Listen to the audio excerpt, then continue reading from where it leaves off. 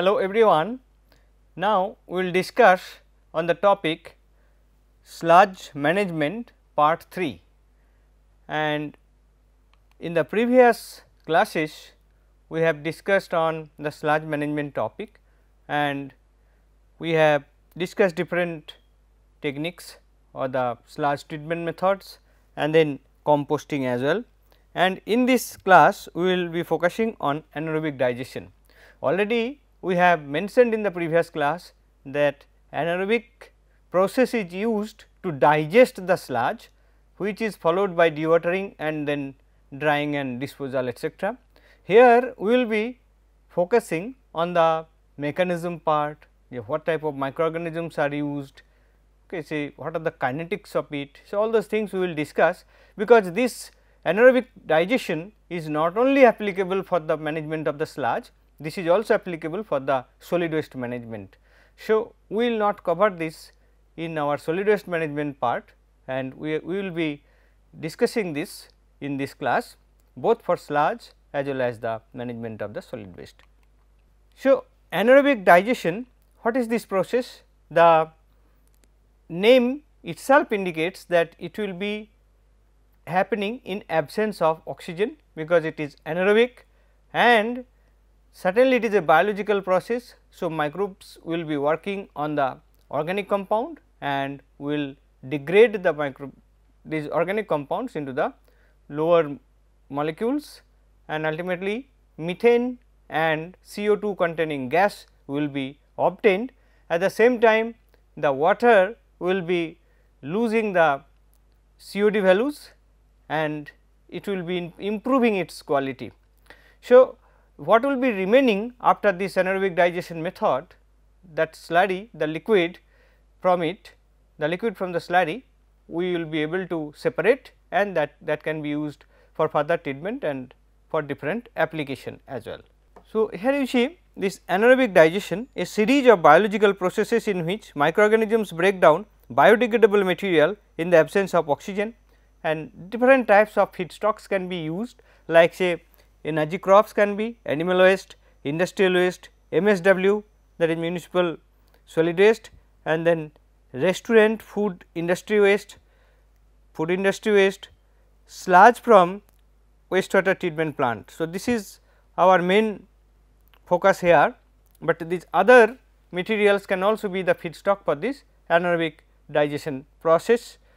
And after these reactions we will be getting basically the biogas that will be our one important product for the energy recovery from this feedstock and the, the reusable water. So, this water will be having better quality in terms of its presence of BOD, COD etcetera. So, that will be further treated and used for other application. At the same time the sludge which will be generated here the solid part that will be used as bio fertilizer that can be further used for composting and as a compost that can be used and uh, along with the biogas the hydrogen can also be produced. So, this is the advantage of this anaerobic digestion process. Now, if we want to see the flow sheet of anaerobic digestion of the waste. So, then the feed will be there and then that will be shredding, blending, pH adjustment. So, these are the preliminary step. So, sewage sludge can be directly used or that can be mixed with some other feedstocks that is co-digestion can also be possible. So, the steps will also be similar shredding, blending and pH adjustment and then pre-treatment of feed depending upon the nature of the compounds present in the sludge as well as in the other biomass or other materials we are using with it. So, that will be pre-treatment will be required and that pre-treatment after that pre-treatment the material will come into the anaerobic digestion chamber and mesophilic or thermophilic condition will be maintained. So, that biogas production rate will be more and then after biogas production the biogas will be going out will go off from the reactor and that will be purified and will be used for different application and then which we are having the digester effluent that will be dewatered. So, after dewatering we will be getting one liquid. So, liquid will be treated and then we will be getting the discharge for different application or the sludge we will be getting here or dewatered or after dewatering we will be getting sludge and liquid some part will be recycled the sludge will be recycled for maintaining the microbial biomass here and then here the liquid part will be further treated. So, here also will be some sludge generation here will be some biosludge generation. So, both sludge can be disposed or managed through proper route for the production of fertilizer etcetera. Now, we will see the what is the mechanism or what are the chemistry behind the production of biogas. So, if we consider in that way, if we look in this way uh, on the system, then we will see that there will be major 4 steps. One is your hydrolysis, then acidogenesis, then acetogenesis and methanogenesis. That will be also be applicable for the sludge management through anaerobic digestion and in the previous class we have also discussed that through thermal hydrolysis followed by anaerobic digestion gives us more biogas production. So, this hydrolysis is necessary to degrade the complex organic compounds into the simpler form that is your that is simple organic compounds like sugar, amino acids and peptides from carbohydrates, fats and proteins. So, this is the main role of hydrolysis and if lignocellulosic biomass is used or if it is present with sludge or sludge is used with this and for this particular anaerobic digestion process, then pretreatment of the lignocellulosic biomass is needed and this treatment is requirement. Then after hydrolysis the sugar, amino acid and peptides all type of compounds will be converted to short chain fatty acids and this is called acetogenesis step or fermentative bacteria and this hydrolytic and fermentative both microbes simultaneously work and they give the product and ultimately short chain fatty acid is generated. At the same time some simple organic compounds are also converted to this acetic acid and similarly H2 and CO2 and then short chain fatty acids that can further be converted to acetic acid at H2 and CO2 and then acetic acid acetate will in the later state be converted to methane and carbon dioxide through this methanogenesis step and this H2 and CO2 can also be combined and give CH4 and CO2 that is methane producing bacteria are responsible for this reaction. So, these are the different reactions which are involved for the production of biogas through the anaerobic digestions of the organic compound. Now, we will see the relative contributions of different types of reactions. So, if we have organic compound say 100 percent out of this 76 percent is converted to short chain fatty acids, 20 percent converted to acetic acid and 4 percent to hydrogen out of this 100 percent. Then 76 percent the short chain fatty acids out of this 52 percent is converted to acetic acid and 24 percent is converted to hydrogen. Now, from this hydrogen to methane and acetic acid to methane this reaction if we consider around 72 percent methane is produced through the acetic acid route and then 28 percent through the hydrogen route. So, these are the relative contribution of different processes these are some typical values provided in literature that may vary also. So, this step is hydrolysis and acetogenesis, this is acetogenesis and dehydrogenation and this is your methanogenesis step.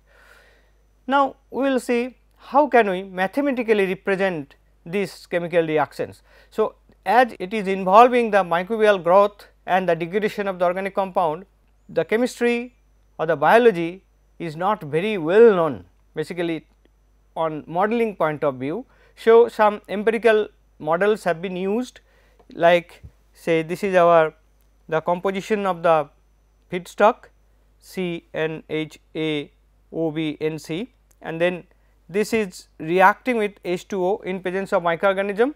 And it is giving us that CH4 then CO2 and then C5H7O2N that is microbial biomass.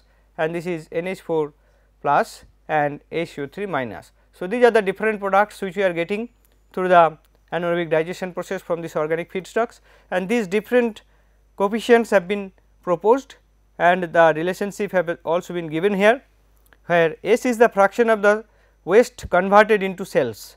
So, this what S value we are considering and E is the fraction of waste converted into methane for energy that is S plus E equal to then 1 and D equal to 4 n plus A minus 2 b minus 3 c where n a b c are nothing but the molar ratio of this in the feedstock.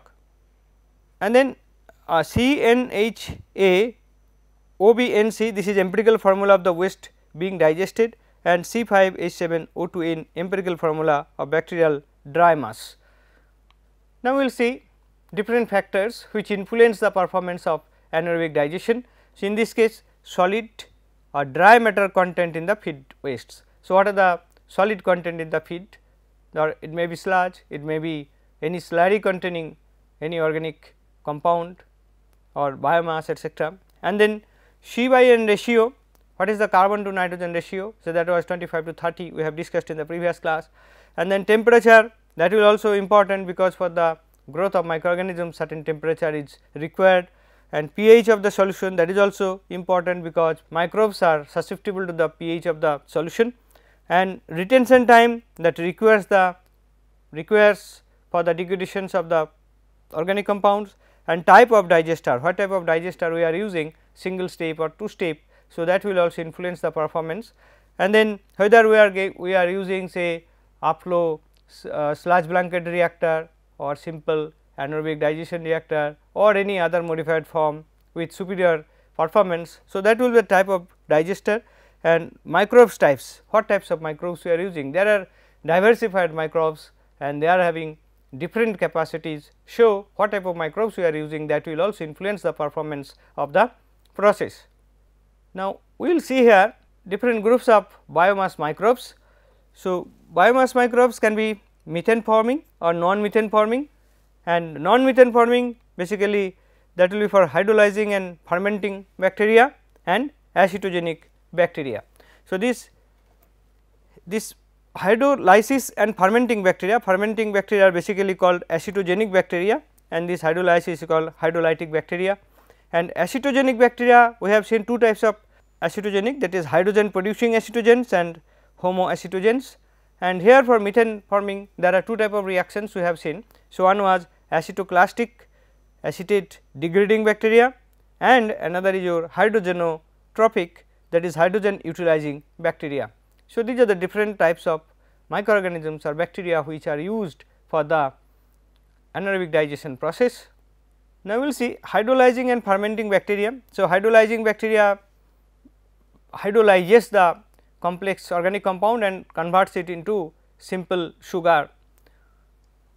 Like say the first step of the fermentation of complex substrate is the hydrolysis of the polysaccharides to oligosaccharides and monosaccharides of proteins to peptides and amino acids, of triglycerides to fatty acids and glycerol and of nucleic acid to heterocyclic nitrogen compounds, ribose and inorganic phosphate.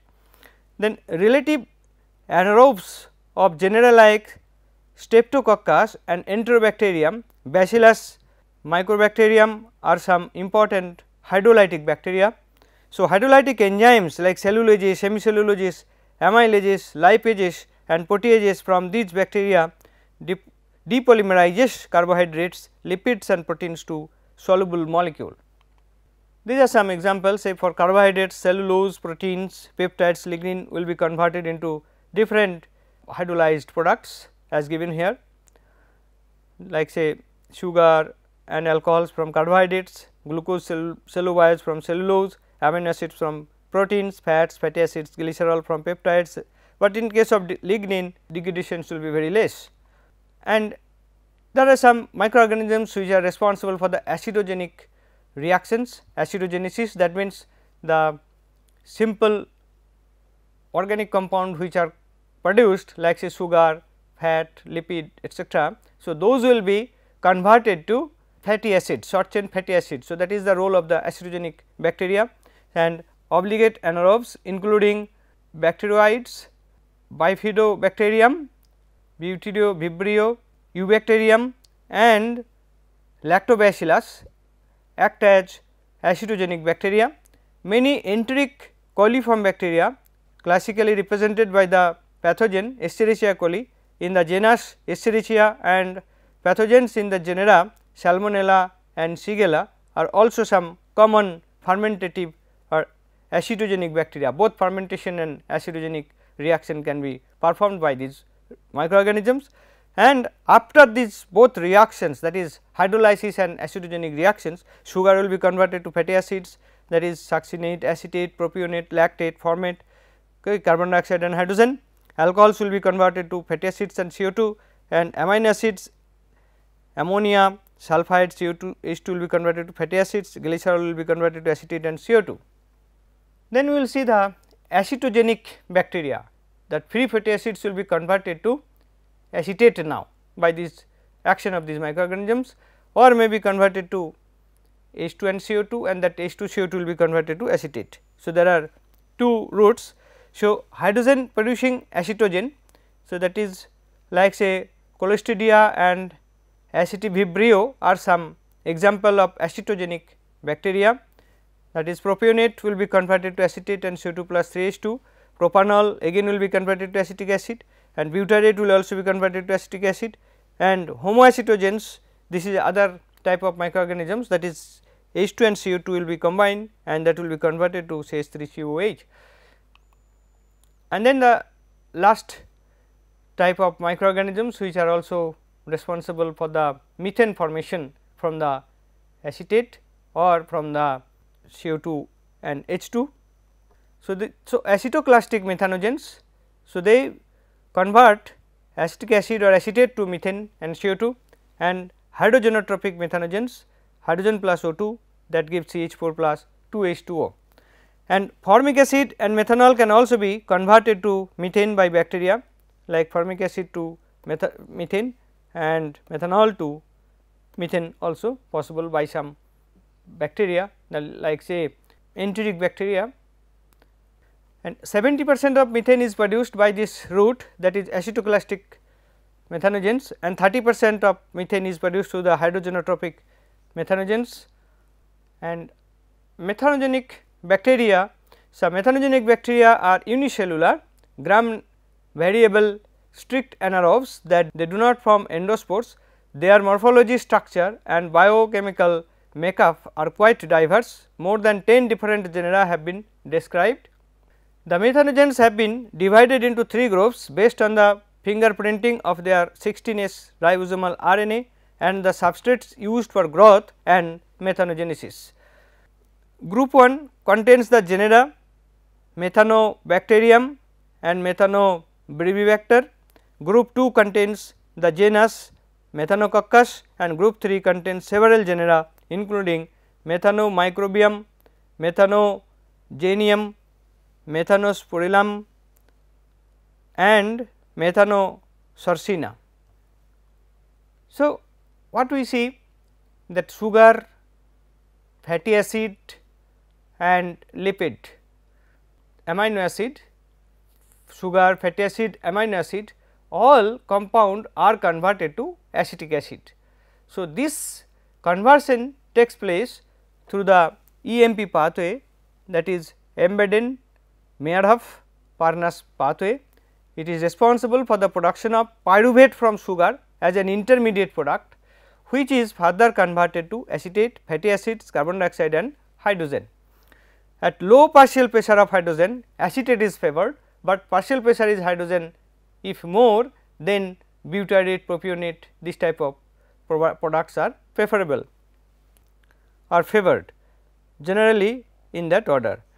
There is also a special mode of cleavage of intermediate pyruvic acid to formic acid by enteric bacteria that is not found in other bacterial fermentations. So, formic acid to methane formation can take place only by the enteric microorganisms. Now, we will discuss on the kinetics of methane production. So, we have seen that methane production takes place through number of steps. So, any of the steps may be slower step and the rate of that slow step will be controlling the rate of the overall process. So, normally the methane production step is very slow with respect to other steps and that is rate governing step. But if cellulose content is very high in the feedstock then the hydrolysis step may also take more time and if it is say lignocellulosic biomass is present if lignocellulosic biomass is present after pretreatment also that will be having more cellulose hemicellulose etc. So, that will also be having more hydrolysis step, the hydrolysis step may be longer. So, that way, but in general for simple type of compounds the methanogenic step is rate limiting step and the theoretical substrate conversion rates per unit reactor volume can be estimated by this formula R equal to SO mu max theta minus 1 minus k is by theta into mu max theta minus 1 where R is the substrate converted per liquid volume at hydraulic retention time theta and SO is the substrate concentrations in the feed and K mu max is maximum specific growth rate and K s is saturation constant or substrate concentration at which the specific growth rate is half of Q max. At 30 to 70 degree centigrade optimum conversion of glucose can be achieved at theta's value of 4 hour and 4 days in acid and methane phase reactors respectively. So, it is very clear that methanogenic step takes longer period and it is a rate limiting step for the glucose. So, this table shows the values of for glucose and cellulose the mu max and Ks values. So, here mu max value is more for glucose than cellulose and Ks value is less for glucose than cellulose. This indicates that the glucose is more easily degradable than the cellulose and whereas in case of methanogenesis step. So, you see that mu max is 0.49 and for 4.2 for acetic acetate for the methanogenesis of acetate. So, that way this is more slower step with respect to all. Okay. Kinetic constant mu max maximum specific growth rate K s saturation constant of substrate concentration at which the specific growth rate half, half of the mu max. Now, we will discuss about some important facts like say methane fermentation a thermophilic temperatures increases the methane production rate because of higher reaction rates. At higher the temperature we get more methane production and reduced pressure also provides little or no benefit. Low pH and short retention time reduces methane production and rapid continuous agitation of anaerobic digester is not necessary and in some cases is even harmful. We will see that agitation or slight mixing is needed, but vigorous mixing or agitation is not needed, it reduces the performance of the reactor. And specific methane yield is directly proportional to the biodegradable COD or Vs loading in the digester.